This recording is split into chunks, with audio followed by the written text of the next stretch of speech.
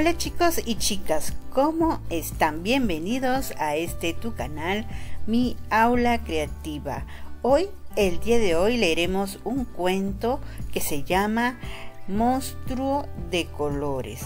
Esta es una historia original y muy divertida ya que enseña a los niños a tomar conciencia de la existencia de las emociones, identificar las emociones como la alegría, tristeza, rabia o enfado, miedo y calma, también a conocer la definición de cada una de las emociones, saber cuáles son las principales manifestaciones de cada emoción, reconocer cómo se sienten cuando tienen cada una de las emociones y aprender a gestionar y a manejar las emociones exitosamente. Empecemos. El monstruo de colores no sabe qué le pasa. Se ha hecho un lío con las emociones y ahora toca deshacer el embrollo. ¿Será capaz de poner en orden la alegría, la tristeza, la rabia, el miedo y la calma? Este es el monstruo de colores. Hoy se ha levantado raro, confuso, aturdido no sabe muy bien qué le pasa. Al caminar va dejando estelas de colores. ¿Ya te has vuelto a enredar? No aprenderás nunca. Menudo lío que te has hecho con las emociones. Así, todas revueltas no funcionan. Tendrías que separarlas y colocarlas cada uno en su bote. Si quieres, te ayudo a poner en orden. Cuando estás alegre, ríes, saltas, bailas, juegas y quieres compartir tu alegría con los demás. La alegría es contagiosa, brilla como el sol, parpadea como las estrellas. Cuando estás contento, te ves amarillo.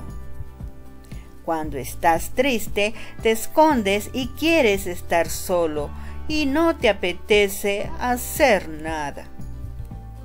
La tristeza siempre está echando de menos algo. Es suave como el mar, dulce como los días de lluvia. Cuando estás triste, te ves azul. Cuando estás enfadado, sientes que se ha cometido una injusticia y quieres descargar la rabia en otros. La rabia arde al rojo vivo y es feroz como el fuego, que quema fuerte y es difícil de apagar. Cuando estás enojado, te ves rojo Cuando sientes miedo, te vuelves pequeño y poca cosa y crees que no podrás hacer lo que se te pide. El miedo es cobarde, se esconde y huye como un ladrón en la oscuridad.